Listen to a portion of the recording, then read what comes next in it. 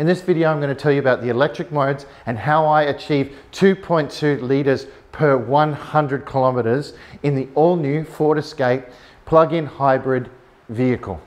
Of course, you all heard about the Ford Escape. You can see my video on the Ford Escape here. Check it out if you like. But in this video, I'm talking about the plug-in hybrid electric vehicle. You have a normal fuel tank and you also have your plug-in point. This is a type 2 plug-in point for the Ford Escape. When plugging in your charger to the wall, there's a couple of things that you need to consider. When do I charge? For charging, it takes about five hours for your battery from zero right up to your 60 kilometers that you'll get from the battery from the plug-in source.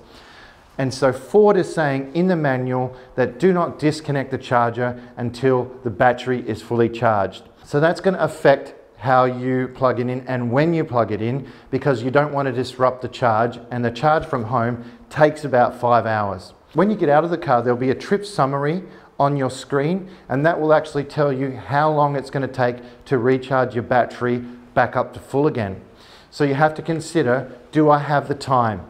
Now at home, it's about five hours to charge up, but if you go to a high flow charging station, then you're going to get it for about two hours in the high level. And it also gives you that indication on the dash, on the screen, how long it's going to charge if you're near a high flow. Now I had one issue.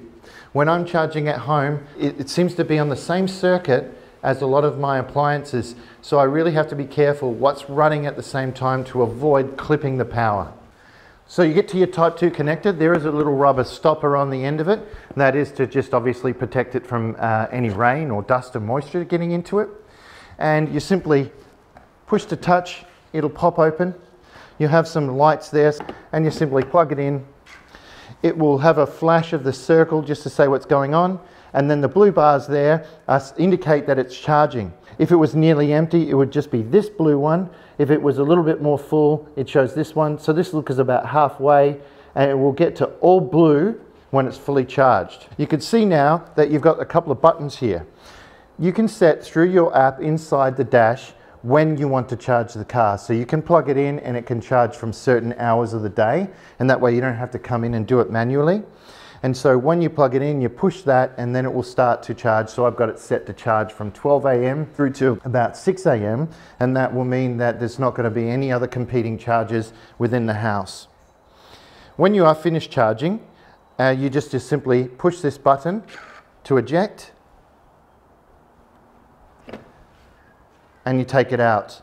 Now, it's one thing to note when the car is locked that this cannot be pulled out. So you're at some location somewhere and the car is locked, you physically can't pull this out. I'm absolutely obsessed with trying to game this system to get my fuel, my litres per hundred, as cheap as possible. And it's to game the system and to use this car most efficiently so I can be using electric as much as I can.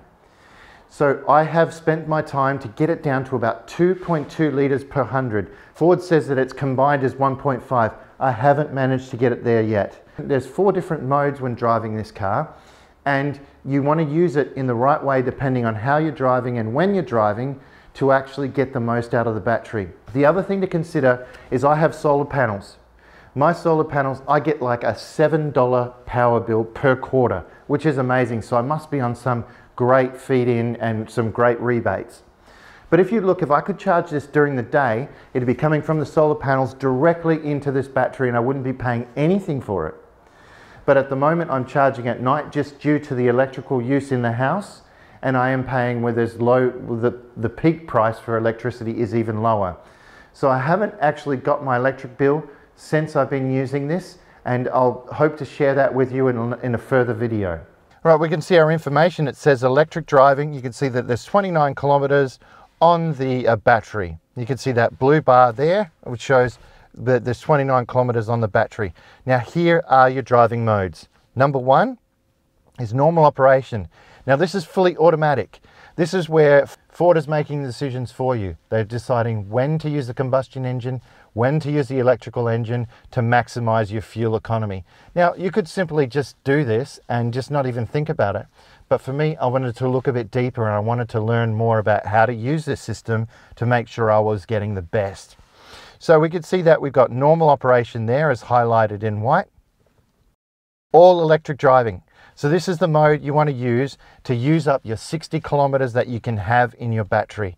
If you use all electric driving, it's going to drive all electric and then it's going to wear out that battery down to zero and then the combustion engine will take over. That's my favorite mode when I know I'm only going to do about 60 Ks in a day. I love it because I know I'm driving for free. Brilliant.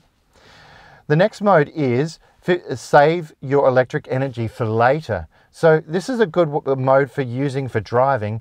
If you're doing a long trip on, on the highway and you think it's pointless burning the battery on this highway because highway is going to be more economical for your combustion engine, you think, let's just use our fuel now and save the electric for when we're doing 60 and we're doing our start stop in traffic. So that's save whatever's later. So if you had 100% of the battery, it would say save 100% of the battery for later. And if you had 57% of the battery like I do here, it's saying we'll save that energy for later. This next mode is pretty cool as well. So this mode is EV charge, battery charged by engine. You heard the engine's turned itself on. So no longer will you have the car silent at lights, the engine will continue running. Now that will then charge your battery. You can see the battery is now grayed out and it says 29 kilometers and that means that the combustion engine is charging that 29 kilometer battery up to its 60 again. So driving on the highway, you could do every three Ks that you do will put one kilometer back into the battery.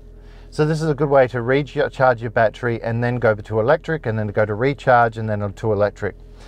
So the modes are quite interesting and you've got to learn how to game these modes to get the best out of your engine so you can use the least amount of fuel. Just anecdotally, it feels like it was months ago that I went to the petrol station. I filled it up to full and it was just saying 890 Ks till empty, 850 Ks till entry, and it just seemed like forever. I've still got half a tank, and I got this car at new. Uh, this car had 13 kilometers on it, and now it's got 1575. One tank was $60, and a half a tank was another 20. So I spent $80 on fuel so far. I've got half a tank left, and I've done 1575 kilometers. That's my look at the moment in plugging, charging, using the brand new Ford Escape plug-in hybrid.